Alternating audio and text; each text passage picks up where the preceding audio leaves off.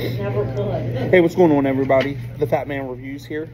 Today, we're reviewing king crab at Captain Crab in Lancaster slash York, Pennsylvania. Let's go ahead and crack this open.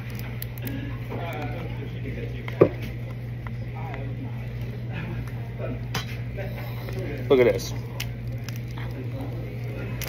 Dip in the butter. Oh.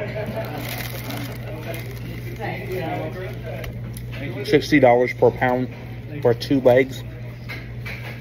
So much easier to get the crab meat out than snow crab legs. It's not as sweet as snow crab legs, but it is real big, meaty. It's more like lobster. I'd give it a 10 out of 10.